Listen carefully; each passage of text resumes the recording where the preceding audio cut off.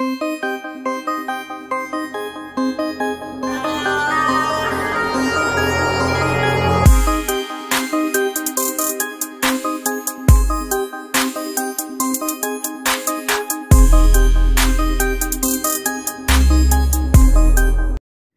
Guys आज की जो लेटेस्ट इन्फॉर्मेशन बात करेंगे Maharashtra CD counselling 2022 five year LLB merit list 2022 release today how to download सारी इन्फॉर्मेशन देंगे डिटेल शुरू करते हैं।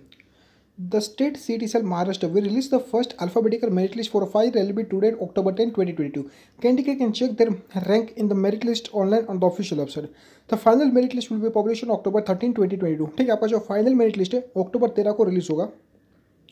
how to download the Maharashtra CET five B alphabetical list visit the official website click on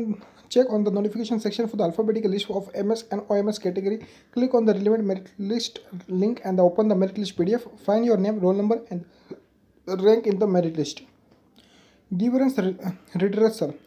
candidate include the alphabetical list of five-year llb will be able to submit their grievance related to their rank from the october 10 to 12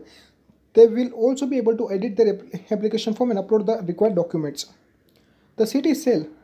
will announce the first round of the seat allotment for MHT CET 5 LB on October 15, 2022. Candidate will be shortlisted for a seat allocations based on their CET mark, rank, and college preference. Candidate who allotted the most preferred college will be have to report to the law college and complete the admission process by October 18, 2022. Candidate who get college allot allotment other than the first preference